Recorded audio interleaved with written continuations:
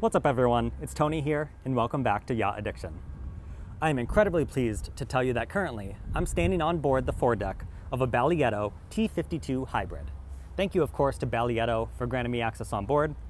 Guys, this T52 is officially 52.32 meters long or around 171 feet. It has a beam of 8.94 meters or 31 feet and a draft of 2.57 meters at its half load. Now guys, you heard me correct. This is a hybrid super yacht you can run on the traditional diesel engines. You also have a diesel electric mode, which greatly extends the performance and capabilities on board. And you also have a fully electric mode available. There's so many fantastic things to see on this one, so I think we'll go ahead and get started. As mentioned, we're up here on the foredeck, and this yacht has a steel hull and an aluminum superstructure. So as you can see right here, we have the bell, and then your extremely large anchor gear As we go through this Baglietto Super Yacht Tour, make sure you comment down below if particular things stand out to you. You have a cute little seating area right up here all the way forward. And then there are two different garages for tenders on board this yacht. And the first one is right here. So let's pan this camera down. You can see it's a huge storage space. And then you do have space for a large tender, as well as some extra water toys Now, one really cool feature on this yacht is all of the outdoor spaces can be connected, and I'll show you what I'm talking about in a moment. Here, you'll see the sun pads on either side, and these are covered by some biminis or sunshades on top.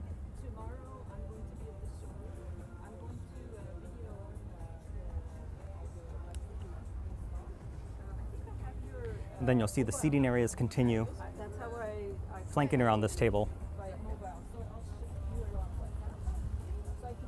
And with this staircase, you can get from the sun deck all the way down to the foredeck, and this can retract up. So that's a really cool feature connecting all these areas. But we'll head up to the sun deck later on in the tour. I did want to point out, you do have the docking stations on either side.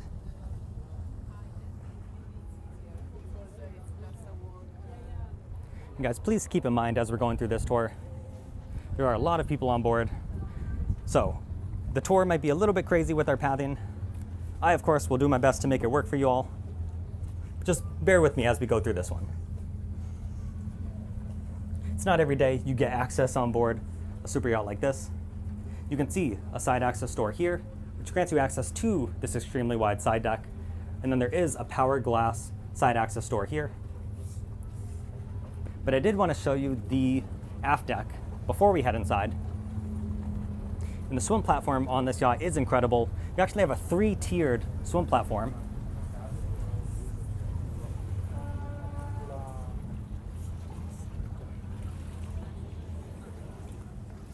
So back here, you'll see the pool, and the floor of this pool actually rises up, so it's flush with the rest of the deck.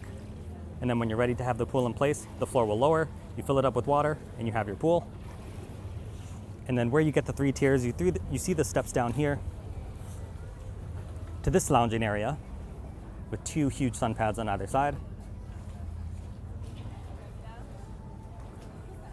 And then you have the swim platform that folds over and lowers into the water. And that's how you get the three different tiers of the swim platform. And when all of the tiers are down, the pool basically gives you that infinity edge pool effect to where you're, if you're in the pool, it looks like you're just looking right off into the water. Obviously, you have more seating in this area on the aft deck.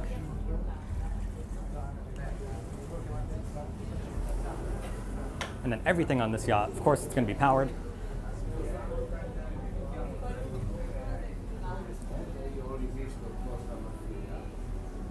So let's step inside the main salon. You have some mechanical storage areas here. Guys, there's some music currently being played have the day head right here. And if we're unable to get the music turned off, it's possible I might have to record over this. Obviously, if you're hearing me now, that means we didn't get copyright striked, so we can keep it in. But we'll see. I might have to voice over this section. So you have gorgeous furniture in here, as well as floor to ceiling windows.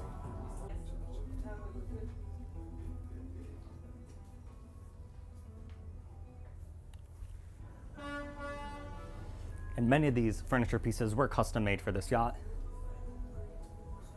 Up here you'll find the main foyer.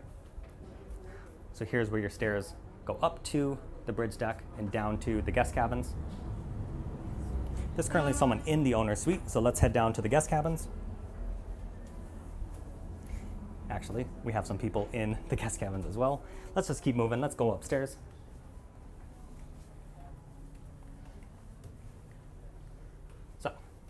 Before we get to the Sky Lounge, it's very extraordinary. You're going to love it, I promise. You do have a bonus guest cabin up on this level. So this has the single bed as well as the Pullman berth. Guys, I love in every single room the colors and accents. They're so warm and inviting. And you know me, if you've seen this channel before, I love the accent lighting. By the way, if you're new to the channel, then welcome, of course. My name is Tony. I post a new yacht or super yacht tour every single week. So make sure you subscribe if you want to see more of that. Here is the ensuite for this room. And even though it's just the smaller bonus guest cabin, you're still gonna have gorgeous finishes in every room. Making our way across here, we do have a day head. Guys, look how thick and heavy duty these doors are.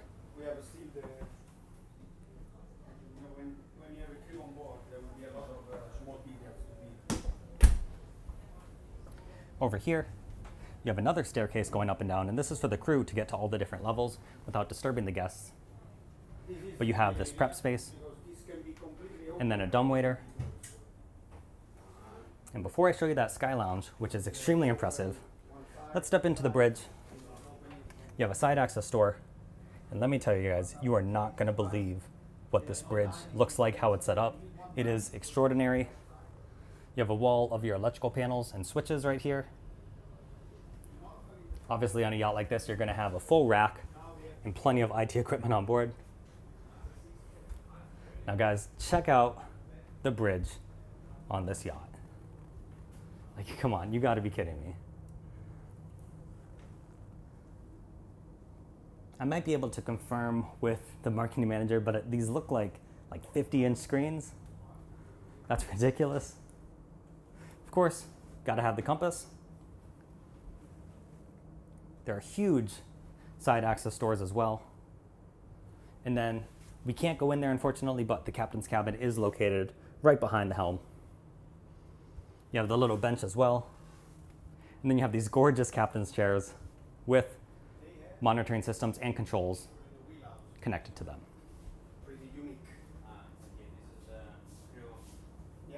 And then here you can see the foredeck.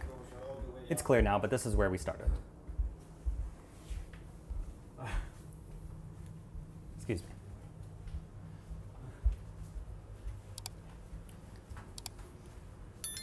I'm sure you're all pretty stunned by that bridge. It's truly out of this world, honestly.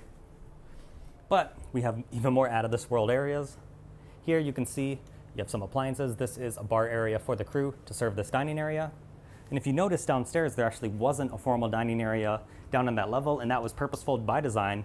Your main dining area is up on this deck. So everyone, you have a huge table here, so everyone can comfortably dine. I love the matching wood accents with the table. And then on three different sides of this room, you can see here, here's obviously the bridge deck aft. You have this whole wall of glass that can open up. Then here's an example, the sides can also open up all the way. And these are powered, of course. So you can have this room open from three different sides. So it truly is inside or outside dining.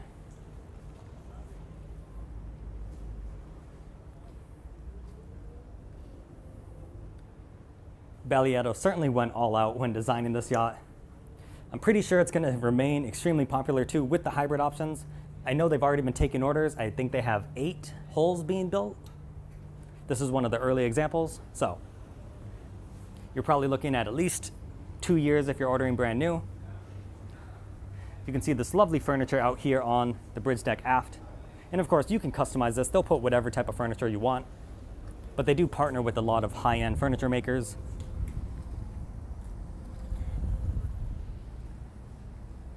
But obviously on a yacht like this, your options truly are limitless when it comes to the furnishings.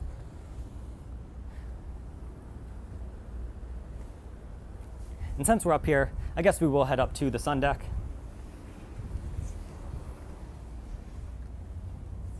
Now this is another massive area. You have some deck furniture back here. Here's a good shot of the Cannes Yachting Festival.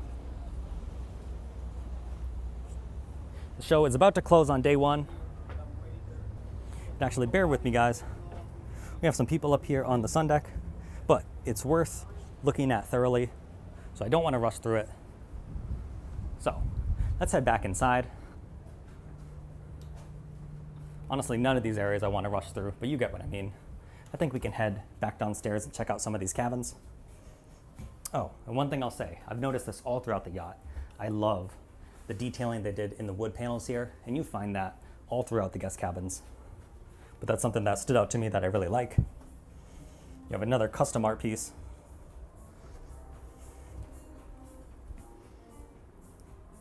Seems like it's clear, so let's move forward to the owner suite. Once again, that wood paneling. Actually, the galley is clear, and it wasn't earlier, so let's just take a peek in here. You can see there's actually a really good sized crew mess on this main level. That's really nice. I love when the crew have really adequate spaces. And then you have another prep space, little coffee bar, and then here's that dumbwaiter so you can send the food up to that formal dining area. And then if we continue through this door, here we'll find the galley. This galley is really well lit.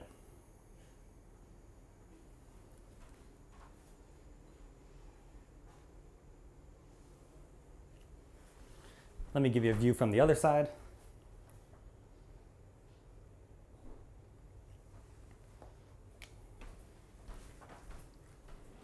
All right, I'm glad we were able to capture that. Here's that other staircase we talked about before. So this is how the crew can get up and down as needed, as well as out to the side decks. And then the staircase right here, this is how you actually get down to their cabins.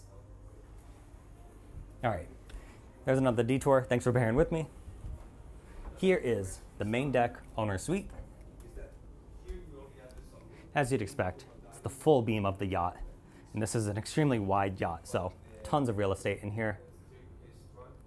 Once again, I love the warm and inviting color palettes. You have that beautiful mix of modern design that's not too over the top.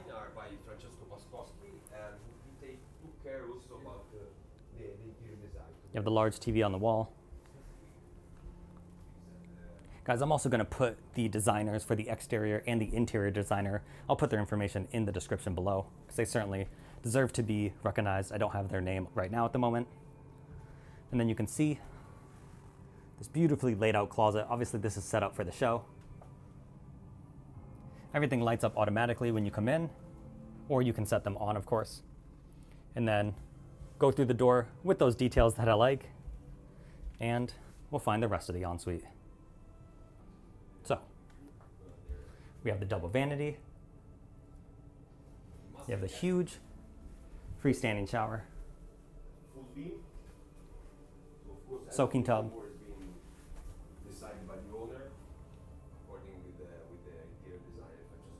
And then here, toilet and bidet is tucked away right here. But you do have a good window. Exterior line, but the volume of this one is double. This is oak. And then there were, I don't know if you saw them, there were a bunch of closets that lined the walls as well. So plenty of storage in there. And now we're gonna head down to the guest cabins. And if you're enjoying this Baglietto T52 so far, make sure you hit the like button I always appreciate that. Any type of engagement you leave on the video helps pump it out to a greater audience, so that's always appreciated. It's a way to support me directly for absolutely no cost. So here you have dual VIP cabins. So these are mirrored on either side. So no one's gonna get jealous, that's always nice.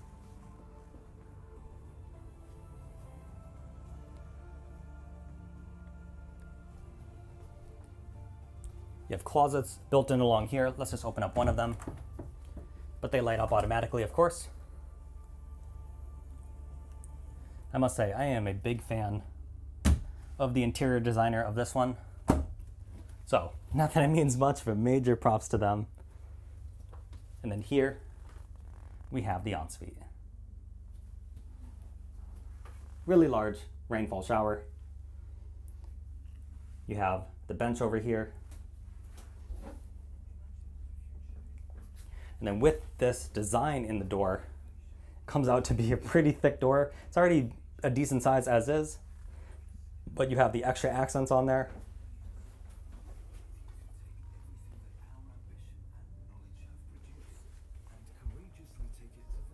So as mentioned, these are mirrored.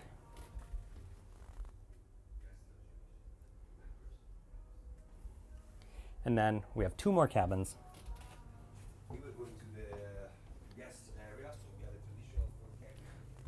So you have two singles as well as a Pullman. You have the closet right here, and then the ensuite. This one is actually locked. So let's head over to the other side. Here you can see, once again, two singles with the Pullman. You have the TV up on the wall and it's backlit, as well as same style and design as all the other rooms. You wouldn't expect anything less.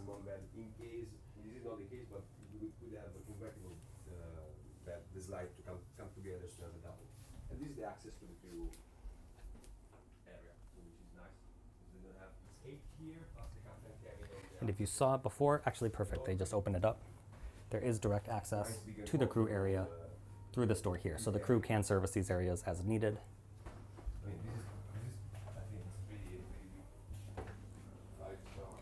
Here we can see the laundry room.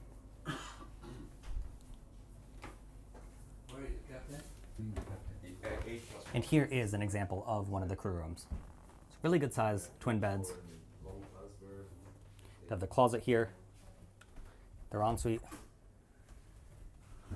Guys, this is a really good size. I'm sure you've seen several en-suites on these yachts before for crew members.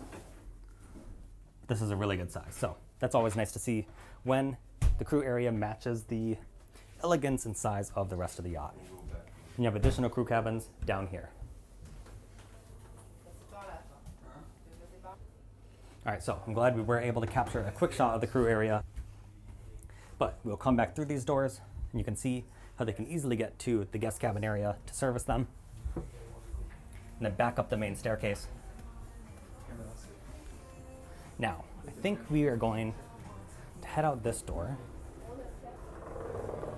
So, side access door comes in clutch. And also that staircase on the foredeck is actually also coming in clutch because now we can path right up to the sun deck. Getting a little distracted here at Cannes. They have helicopter rides from the airport at Nice directly to the show. Obviously, at a show like this, you're going to have a lot of VIPs coming in. Also, now that it is clear, let's give you a better shot of this foredeck area. Just because we did have some traffic before. And here, of course, is where we started the tour.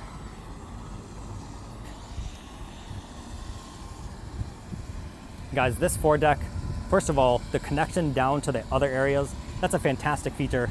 And you can see how it comes out. Well, I think you can see how it comes out of the area right here. So this ladder can be completely stowed away and then you close these glass doors. But here all the way forward, just see the twin sun pads. And right behind that, everyone's favorite, of course you're gonna have a jacuzzi on this one, and it is a really large size.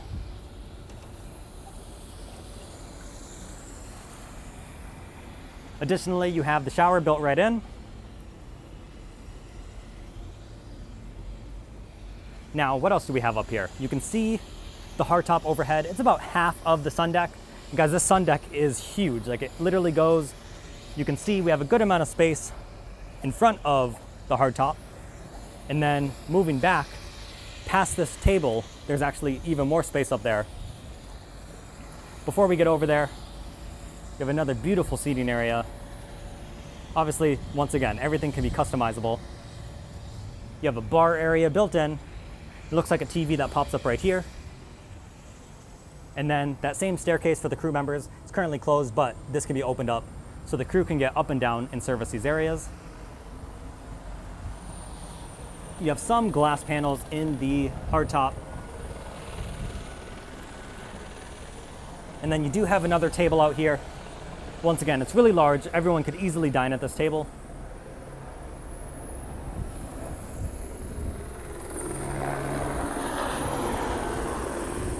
And now here's where the hardtop ends. But don't you worry, you have even more space out here. You have a beautiful sofa. And this is where we stopped beforehand. Once again, I'll give you a shot of the Cannes Yachting Festival. Day one is about to wrap up. This is my first international trip. Yacht Addiction has officially gone international.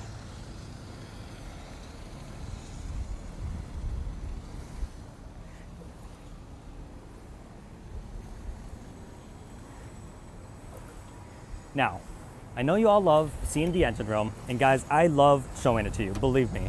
Whenever we're doing one of these tours, I always try to get access to every single area that we can. Unfortunately, on this one, we are unable to see the engine room, but don't click off. Let me tell you about these specs and the performance. Believe me, you're gonna be impressed. So, let's actually find a nice place to sit. Here actually, we're rocking a little bit. It's a little windy. And you can see why you have this double edge here. That's of course, if the water tips over the edge, it'll just spill into this area. You're not gonna actually make a mess on your sun deck. So, as mentioned in the intro, this is a hybrid super yacht. Such a fantastic feature. I'm not shocked that more and more individuals are gonna be placing orders for these. So, the traditional setup, actually, first of all, let me tell you about the engines. You have two engines they're both MTU 16V 2000 M86 engines. Your top speed is around 17 knots. Pretty decent for a yacht of this size. Obviously, it's not a super fast boat. It's not what it's designed for. You have a comfortable cruising speed of 11 knots, and at that cruising speed, you'll get 4,800 nautical miles of range.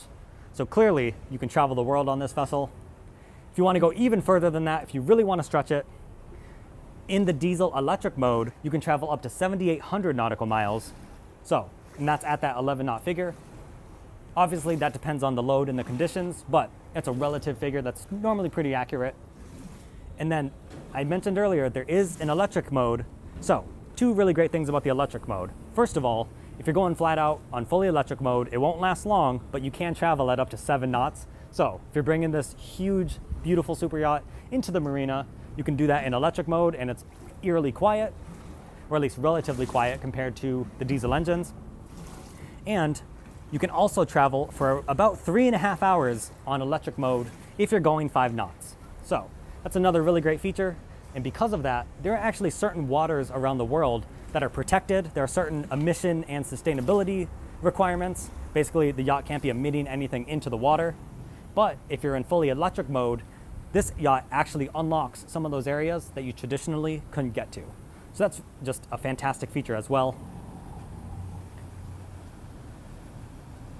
Also, the last thing I'll mention, in the electric mode, you can operate all of the ship systems for up to 10 or 11 hours. So what that basically means is you don't have to run any of your generators overnight if your electric battery system is fully charged up.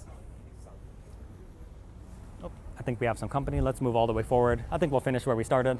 But if your batteries are fully charged up, you can set anchor for the night, turn off all those systems, excuse me, turn off all the generators, that type of system, and then all of your actual systems, your AC, refrigerators, everything you need to actually be anchored up for the night, those can all run off that battery bank for, like I said, 10 up to 11 hours. So that's once again another really great feature as part of the hybrid propulsion system. Thank you so much to Baglietto for granting me access on board and thank you so much for watching. It's kind of incredible that this channel has taken me so many places. I never would have thought that I would be filming super yachts in Cannes. But, you know, don't let your dreams be dreams. Here we are, we're doing it. this is probably one of the top super yachts I've ever been on. It's definitely high on my favorites list. Thank you so much again for watching. We will catch you next time.